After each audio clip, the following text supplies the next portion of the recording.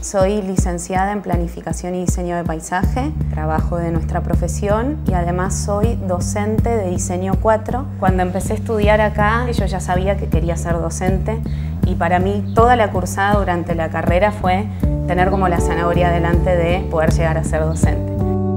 La cursada es muy íntima, eh, los grupos son chicos y para mí es una docencia muy especial porque tenemos la oportunidad, eh, creo, de llegar a a profundizar muchísimo más desde la docencia, a conocer a los alumnos, a generar un vínculo. Todo el tiempo estamos como hablando mucho de qué cosas nos preocupan desde nuestra profesión y en las cuales queremos trabajar. La U es muy abierta en que vos profundices en esos temas que, te interesan, entonces como a ir generando un criterio, una opinión propia, personal, una mirada.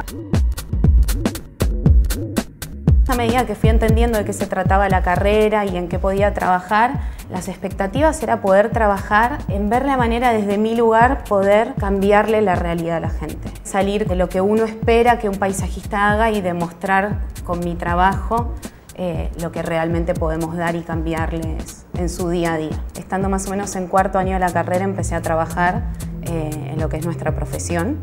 eh, bastante rápido tuve la suerte de encontrar trabajo. En lo que más me especializo es todo lo que sería más espacio público eh, y grandes emprendimientos privados. Por ejemplo, hace unos años me tocó trabajar en el master plan y en la, en la recuperación de la laguna de los Coipos en la reserva ecológica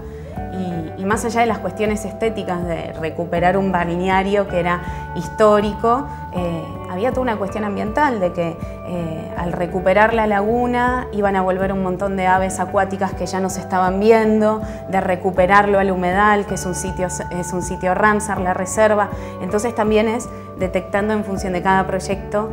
eh, qué usuario, qué patrones,